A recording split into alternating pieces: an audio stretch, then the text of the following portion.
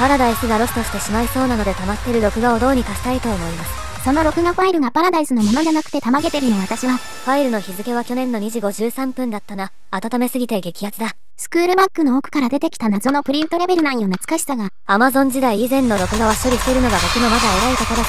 年末にしか大掃除しない人みたいだ。そんなわけで今回はなるべく交差しない電光石火をやっていきたいんだと。なんだそのイカれたチャレンジは。こちら2年前にクソ条件リクエストを募ったら飛んできたものになるわけですが。すべてが温めすぎだな。再加熱しすぎたハンバーガーでもここまで温まらんわ。やる気だけはあるんだやる気だけは。やればできるこの中で実際何人になる子だと思うの。僕はね、他の人でもできるんならその人が全部やればいいと思うんだ。人間のクズという素材で作られたホムンクルス革命は、二酸化炭素を生み出してるだけで褒められたい人生ですよ。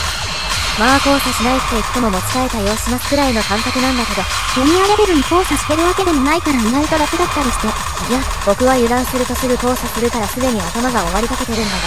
それは多分チューニズムが下手だね。世代育ちだから仕方ないだろ。進行すら持ち替えないくらいだぞ僕は。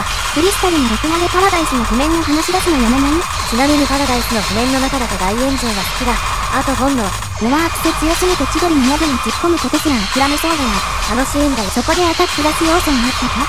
スライダーの気持ちになりすぎてタップと仲良くなれないのだが。スライダーの気持ちはそれ多分なんとかたりともプレイするのだと思うけど、学生バイト程度のスライダーの仕事って、お金を出して無理やり仲良くなる。あれ？このゲームってもしかして、やめよ。このゲームは今はまだ世界一きある。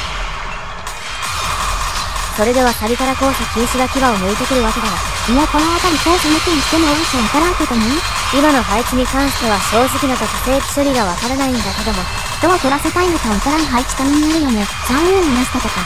ちゃんと取ると腕逆になるスライドとかも、まあエピクロスのことなんですけど、おおよそテクノキッチンすぎることはありません。初見殺し特化型譜面制作者だから彼は、ところでさっきからめちゃくちゃな取り方しすぎて腕痛いんだけど、普段からとっさにヘドバンできるようにしておけとあれほど。ヘドバンがチューニズムにおける必須技術みたいに言うのはやない。テクビアーンよりは他に使えるから。はい、ここは純粋なし。24時バカかすってるの面白。僕ちょっとああいうのできないから。できないものがありすぎて逆になんならできるのか疑問だわ。じゃああとは発表やって終わりですか。最後の階段をそれはもうこすりたくてたまりませんでした。しかし指をし絡むと一気に手元汚くなるよね。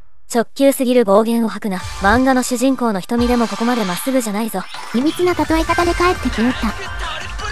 鳥は乗ったけど赤ジャスティスすっごいことになってるね。まともなプレイをしてないので気にしなくていいと思います。あとは何が残ってたってか。小枠で14やるのは覚えてるんだけど、ネタプレイっていう格用では？もはやそれと別に今度大炎上で遊ぶか。